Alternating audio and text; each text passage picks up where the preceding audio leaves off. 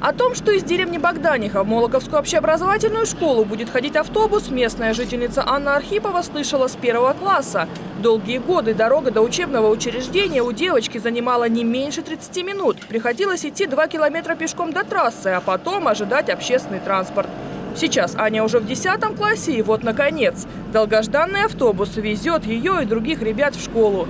Теперь время в пути составляет около 8 минут. Это очень удобно, потому что занимает не так много времени и недалеко от дома, и ходить далеко не надо, так что удобно. Пустить новый маршрут в деревню Богданиха стало возможным благодаря созданию на территории населенного пункта разворотного круга для общественного транспорта. Помимо этого, здесь положили пешеходную зону для тех, кто все-таки решит идти к трассе на остановку.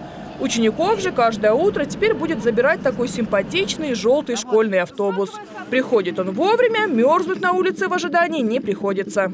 По графику справляемся и остановку хорошую сделали, заезд отличный, отличный автобус, все хорошо. Помимо Богданихи, школьный автобус забирает детей еще из двух отдаленных от учебного заведения населенных пунктов – села Остров и деревни Андреевская. Так как детей много, это облегчает еще и жизнь родителей, потому что они уверены, что сопровождающий принял в автобус ребенка, сопровождающий сдал из автобуса ребенка. Конечно, это очень удобно. Ребята нашли еще множество плюсов от этого нововведения.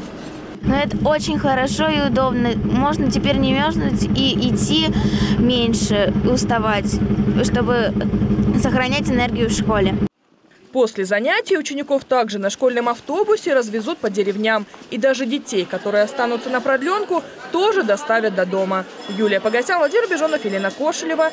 Видное ТВ.